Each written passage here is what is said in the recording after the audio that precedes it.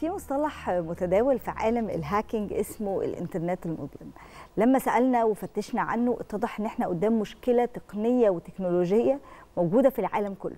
المشكلة دي عبارة عن شبكة الإنترنت إزاي بتشتغل في الخفاء.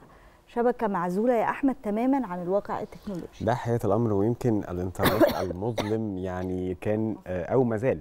بيهدد كتير من البشر ملايين من المستخدمين لشبكة الإنترنت بالشكل السليم لأن هم مجموعة بيستخدموا هذه الشبكة المظلمة بيقدروا من خلالها يوصلوا لمعلومات عنك من خلال حساباتك على ال social media. بيقدروا كمان إن هم يخترقوا تليفونك بمنتهى السهولة ويقدروا ياخدوا أرقام التليفونات ويقدروا إن هم يسحبوا أي data هم عاوزينها من هاتفك المحمول. وهنا بتيجي عدد من الأسئلة. أول حاجة إزاي نقدر إن إحنا نتجنب هذا الموضوع علشان ما نبقاش وسيلة سهلة للاختراق؟ طيب هل في تقنيات نقدر نستخدمها علشان ما نسمحش لهذه الشبكة المظلمة اللي هي توصل لحساباتنا؟ أسئلة كتيرة هنجاوب عليها مع حضراتكم في هذه الفقرة تحديدا من خلال ضيفنا اللي منورنا في الاستوديو المهندس محمد عزام خبير التحول الرقمي وعضو مجلس إدارة الجمعية الدولية لإدارة التكنولوجيا. صباح الخير يا باشمهندس. صباح الخير على حضراتكم مشاهدين حضراتكم الكرام. أهلا بيك يا باشمهندس. أهلا بيك يا فندم. بداية في أصلا حاجة اسمها كده؟ في حاجة اسمها من غير ما أفتح أي link من غير ما أعمل أي حاجة ألاقي بني آدم قاعد معايا جوه تليفوني بياخد أرقامي وصوري وبيفتح الإيميل بتاعي وايا كان بقى ال applications أو التطبيقات اللي موجودة على التليفون هو قاعد معايا جوه التليفون؟ ده ممكن طبعا. هو الإنترنت من غير ما أعمل حاجة خالص؟ من غير ما أدخل link أو من غير ما أدخل رابط مش مظبوط؟ هي حضرتك بيتم في الحالة دي إلقاء نوع من أنواع البرامج اللي على التليفون حضرتك ما بتبقاش شايفاها. بحيث إن هو يوصل للمعلومات بتاعت حضرتك وبالتالي هو بيبقى شايف كل المحتويات اللي موجودة عليه. والإنترنت المظلم حقيقة هو زي ما حضرتك تفضلت هو مشكلة عالمية حقيقة إن إحنا أصبحنا في عالم متصل بلا عودة. إحنا بنتكلم على تقريبا أكتر من 4 مليار بني آدم متصلين على شبكة الإنترنت. اللي إحنا بنشوفه في الإنترنت هو عارف حضرتك جبل الجليد إحنا شايفين بس قمة الجبل لا. اللي هو فوق المية إنما اللي تحت ده شيء جبار حقيقة. إحنا م. إن في حاجة اسمها ال surface internet اللي هو على السطح. خدمات الإنترنت آه. بعديها حاجة اسمها ال deep web أو الإنترنت العميق, العميق. اللي هو في البيانات الخاصة بالشركات الحسابات البنكية الملفات الطبية. يا فندم؟ ال database ولا دي حاجة؟ دي هي في الآخر هي المعلومات كلها موجودة بتاعت خصوصا المؤسسات الكبيرة حقيقة. اللي هي ما بتبقاش موجودة متاحة للعامة. ما أقدرش أخش عن طريق جوجل ألاقي الحسابات الخاصة ببنك من البنوك أو الملفات الصحية لمستشفى أو دولة معينة. وجزء من ال deep internet هو في أو ال deep web هو في ما يطلق عليه بقى ال dark web اللي هو اللي حضرتك تفضلتوا عليها. واحدة واحدة عليا يا باشمهندس يعني واحترم جهلي التكنولوجيا لا العفو. طيب عاوز أعرف من حضرتك هل الإنترنت المظلم يعني الهاكرز اللي بيستخدموا هذا الإنترنت المظلم هما بيستخدموا شبكة غير الشبكة اللي إحنا موجودين عليها الشبكة العنكبوتية الخاصة بالإنترنت اللي العالم كله موجود عليها ولا هي نفس ذات الشبكة لكن ده ال deep بتاعها أو العمق بتاعها هما بيقدروا إن هم يتسللوا ليه؟ هو بيبقى عندهم الخوادم أو ال servers الخاصة بيهم. وهي عملية معقدة جدا حقيقة يمكن. ال hacking ده أمر بسيط إنما هو ال dark web أو الإنترنت المظلم حقيقة بيستخدم استخدامات أكثر ضررا حقيقة وبيستخدم في تجارة السلاح وتجارة المخدرات والتعامل غير القانوني مع العملات المشفرة. بيستخدم في الإرهاب بيستخدم في الجريمة المنظمة فهو ليه أبعاد كتيرة جدا حقيقة غير مجرد إن أنا بخش مجموعة الهاكرز اللي موجودة ليها والدول بدأت تنتبه لهذه الأمور بدرجة كبيرة جدا وبقت هناك تقنيات علشان تقدر تتتبع هؤلاء الخارجين على القانون حقيقه أو الأعمال الغير القانونيه من خلال شبكة الإنترنت. ويتتبعوهم ويقدروا يوصلوا لهم. وبقت في النهارده وكالات إنفاذ القانون بتعمل على هذا الموضوع. يمكن إحنا في مارس أوائل مارس طلعت الاستراتيجية الأمريكية اللي يطلق عليها بايدن هاريس cyber security strategy. بتتكلم على إن إزاي يتم عدم بقى تحميل الأشخاص العاديين زي حالاتنا كده والمؤسسات الصغيرة والمتوسطة والمتناهية الصغر. ال- الأضرار الكبيرة جدا وبالتالي في مليارات بيتم رصدها في هذا الاتجاه. الاستراتيجية دي مثلا هيتم صرف فيها حوالي 11.5 مليار دولار على تنفيذها وأصبحت إن الأمور أصبحت إن أنت بتهدد اقتصاد عالم حقيقي. النهارده إحنا بنتكلم ده بيحصل في إيه بقى؟ في ال dark web ولا في ال deep web؟ إحنا بالنسبة لنا كده وإحنا قاعدين مع بعض من غير آه، خبير آه، أمن معلوماتي إحنا بالنسبة لنا أنا وأحمد آه، الإنترنت المخفي وخلاص يعني ايا كان بقى. لكن الولاد الصغيرين والشباب في ال- الأصغر خالص في السن عندهم تفاصيل المعلومات خصوصا إن موضوع ال hacking ده بيبقى بي يعني بي بيخليهم بيداعب أحلامهم إنه يبقى عنده القدرة على ان هو يشوف الحسابات بتاعة الآخرين ان هو يقدر يتحكم في حسابات الآخرين. ده بيخليهم متحمسين قوي وبشكل أو بآخر العيال الصغيرة أغلبها بقت تعرف تعمل الحكاية دي. ما هم مولودين في بيئة رقمية حقيقة وهو التكنولوجيا امتداد طبيعي لحواسهم و...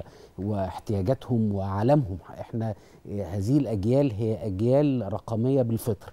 وبالتالي زي ما حضرتك قلتي موضوع ال hacking آه طبعا في شباب صغير كتير مهتم بالموضوع ده إنما هي في الموضوع ما يطلق عليه ال ethical hacking أو ال white hacking أو ال- آه، الاختراق الأبيض أو الاختراق الأخلاقي إن المؤسسات الكبيرة بتبقى محتاجة هذه النوعية من المهارات علشان أأمن معلوماتي آه، وأأمن ملفاتي ضد الاختراقات. آه أنا أنا أنا هكون مزعج شوية اتفضل. لا طبعا. اختراق أخلاقي يعني ده هل هو حاجة مفيدة؟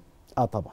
ان إن تخيل حضرتك مؤسسة بنكية. لل- للهاكر العادي قصة آه. كبيرة. حضرتك مؤسسة بنكية حضرتك مؤسسة مؤسسة حكومية عندها آه، مئات الملايين من الملفات آه، معرض لهجمات خارجية. مم. فحضرتك بتعين ناس متخصصين هاكرز متخصصين علشان يكتشفوا الثغرات في هذه الأنظمة.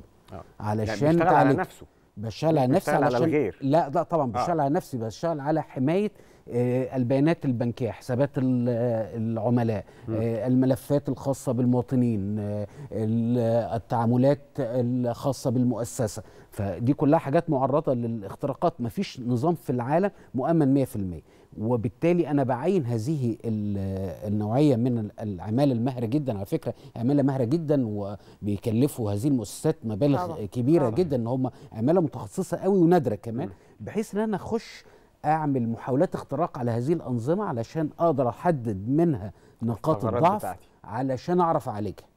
إن هو أنا بفكر بنفس طريقة تفكير العمل الإجرامي اللي هو اللي موجود في الهاكرز ال- الضارين بقى اللي هم بيخشوا يعملوا الاختراقات خصوصا العالم إحنا بنتكلم سنويا حوالي 420 مليون ملف شخصي بيتم آه، الحصول عليهم بطريقة غير قانونية. فإحنا قدام مشكلة عالمية باشمهندس دي حاجة تؤرق البنوك تؤرق ال database بتاعة المؤسسات.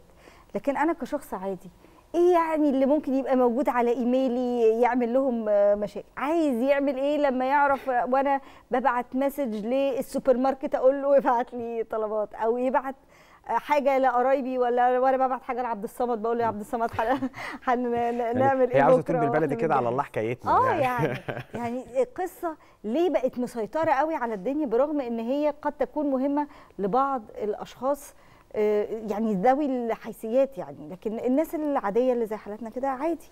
حضرتك بياناتك كلها وحياتك كلها موجودة على تليفونك مم. وعلى جهاز الكمبيوتر بتاعك أيوه وبالتالي لو أنا قدرت أخترق هذه المعلومات ووصلت للمعلومات البنكية بتاعتك وصلت أيوة. للكريدت كارد وقدرت استخدمه هم بطريقة ال غير 3 جنيه قانونية اللي حيلتي اللي عاملين مشاكل عند كل الناس مش أنا بتكلم عليا كمان يعني الأغلب الأعم برضو يعني مش هتبقى حاجات رهيبة هو برضو الهاكر مش هيبقى أنا أنا أنا مركز مش متفق معاك. لأن فكرة ما هو الأكونت صغير بس لما آخد مثلا 500 جنيه من هنا على 1000 على فعلا. هكون مليارات. ثروة طائلة. أنت ده متخيل هاكر إحنا مي- إحنا واخد 120 كورس مليون لو أخدنا جنيه واحد أو 3 جنيه اللي أنت بتقولي عليها دي فأنت بتتكلمي في 300 مليون يعني. وده بالظبط اللي بيحصل الحقيقة هم بيبيعوا البيانات دي. مم. بيبيعوا مثلا البيانات ال credit card بتاعتك ب 25 دولار. آه، حساب بنكي يعملوه ب 250 آه، دولار. لا في تجارة و- تجارة مرعبة في هذا الاتجاه. ال social media مثلا برضو في حدود من دولار ل 60 دولار. هل آه، بنتكلم على أرقام كبيرة يعني جدا. ممكن شركة تلجأ الهاكرز بحيث إنهم ياخدوا بيانات علشان أغراض الدعاية والإعلان والانتشار لا ما بتحصلش كده حقيقة آه، يعني هو بيحصل تسريب للمعلومات دي إنما لو في شركة آه، كبيرة بتستخدم الطريقة دي بطريقة غير قانونية مم. أصبحت مجرمة طبقا للقانون آه، في قوانين العالم النهارده بتتكلم على حماية البيانات الشخصية وبالتالي لو هي عملت هذا الإجراء فهي طبعا هي مجرمة طبقا للقانون نعم. إنما هم هي في الآخر إحنا في الدارك ويب أو العالم هذا المظلم بي- هم بيبيعوها لبعض وعندهم أصبح تداول. عندهم market places مسمينه حتى Silk Road أو طريق الحرير بيعرضوا فيه كل حاجة حقيقي. هو عالم غير Silk Road اللي إحنا نعرفه بالظبط. آه، ده Silk Road الموجود على ال dark web. الوقايه خير من العلاج فإزاي أنا أقي نفسي من هذا الإنترنت المظلم؟ يعني هل في تقنية لو أنا استخدمتها أقدر إن أنا أحمي نفسي من الوقوع فريسة لهؤلاء المجرمين المنظمين؟ أهم حاجة الوعي. آه، ما اخشش على حاجات أنا مش عارفها. ما احطش بيانات تبقى سهلة ان أنا لو حد اخترق تليفوني ياخدها ويكون صورة معينة على مش هينفع يا. باشمهندس. آه، بيحصل مفيش application دلوقتي بتعمل لها download آه، غير لما بتبقى عايزة ايميلك وعنوانك والجندر ورقم ال- الـ credit card يعني بياخدوا كل التفاصيل ولو ما عملتش الكلام ده ال application مش بتشتغل معاك هنا بقى تعتمد على نوعية ال application ما نزلتش application مجهولة. أيوة. لو بستخدم application البنك بتاعي فدي application معروفة ومؤمنة. okay. آه، لو بستخدم application مش عارفها نوع من ال applications مجرد حد بعته لي رحت دايس عليه راح نزل اديته البيانات دي تطوعا. دي المشكلة حقيقة. فهنا الوعي نوعية ال applications آه كمان الوعي إن أنا لما يجي لي لينكات غريبة لازم آه أبقى واخد بالي منها هي بتوديني فين؟ إن أي غلطة من الغلطات دي بتؤدي إلى سرقة بياناتي يتم انتحال شخصيتي آه، الدخول على آه، صفحاتي الشخصية الكم من المعلومات كبير جدا. والنهاردة يمكن في نقلة كبيرة جدا بتحصل في هذا الموضوع ما يطلق عليها الجيل الثالث من الإنترنت. آه، التكنولوجيا بتختلف هيحصل نوع من أنواع التأمين الأكبر للمعلومات. إن كان زمان إحنا كاننا قاعدين في الأوضة دي أول ما دخلت في هذه الأوضة خلاص أنا كل في الأوضة أقدر أخش فيه. النهارده بنبدأ نفصل كل جزء من الغرفة. دي لوحديها وبتأكد من كل واحد داخل هنا حتى أطلقوا عليها ال zero trust architecture أو التطبيقات صفر ثقة. أو آه، تطبيق سياسة اللا ثقة لكل ده واحد داخل على الشبكة بحيث إن إحنا نخش نمنع هذه النوعية من الخروقات إن هي شيء بيكلف العالم في السنة 10 تريليون دولار تقريبا عشر الناتج القومي العالمي. حضرتك قلت أول حاجة الوعي تاني حاجة ال application اللي بتأمن ال- ال- ال- الموبايل أو تأمن ال- الجهاز الكمبيوتر بتاعي لازم انزل ال applications الخاصة بالتأمين لازم احدثها باستمرار. زي إيه زي إيه ال application؟ يعني أنا معايا موبايل عمري ما نزلت application عليه لا للتامين غلط موجود في حاجات كتيرة جدا ومنها حاجات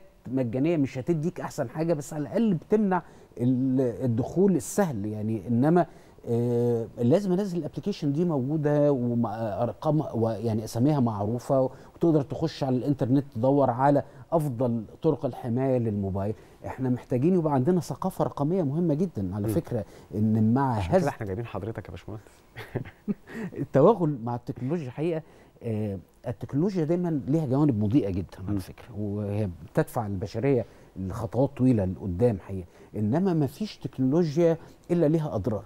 ويمكن هنا مفهوم إدارة التكنولوجيا مهم جدا وإحنا كنا بندرسه أو بنعرفه من لل لل للمشاهدين من خلال برامج زي حضراتكم أنا مح- محتاج إن أنا أفهم هذه النوعية الجديدة من الأدوات اللي ما كانتش موجودة من صحيح. 20 سنة آه، ويمكن أقل من 20 سنة علشان أكون عندي القدرة على حماية تواجدي في هذا العالم الافتراضي اللي هو أصبح امتداد للعالم المادي اللي أنا عايش فيه. النهارده ما بنقدرش نفصل العالمين عن بعض. إحنا إحنا جزء من حياتنا في هذا العالم الافتراضي. فأنا محتاج إن أنا أأمن تواجدي في هذا الجزء الجديد من العالم. حقيقة ما نقدرش نعيش طب من غيره. وما- الابلكيشن اللي هحطها لحماية الموبايل عايزة بياناتي.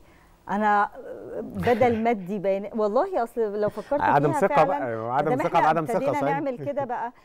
بدل ما ادي بياناتي ل application قد تكون معروفة أو قد تكون غير معروفة ال application اللي هتحمي لي الموبايل أنا اديت طواعية برضو بياناتي لمجموعة أشخاص آخرين قد يتحولوا في أي لحظة إلى هاكرز هما كمان أو يبيعوا المعلومات. هي قصة ما دام دخلناها مش هنخرج منها. مفيش خروج هي اتجاه واحد إنما برضو هي من الصعب جدا إن يتم تسريب المعلومات دي من خلال ال applications أو البرامج أو الشركات الكبيرة حقيقة مم. عملية صعبة.